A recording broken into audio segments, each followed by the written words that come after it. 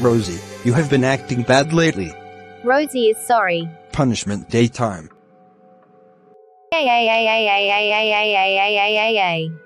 Rosie hates punishment days. First punishment. You are going to boarding school. No, no, no, no, no, no, no, no, no, no.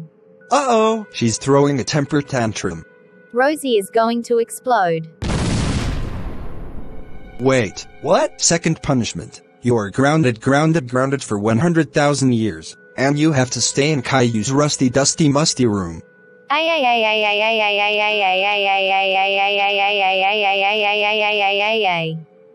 Hey, you better shut up or else I will break your neck.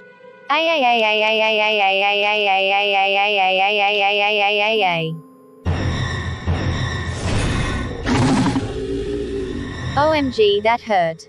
Who cares? It's not Happy Sunshine Day, it's her punishment day. Time to look up more punishments to give Rosie.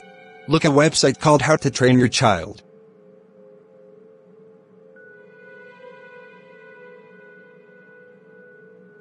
I have officially looked at the whole website. So I've decided. I should kill Rosie right now.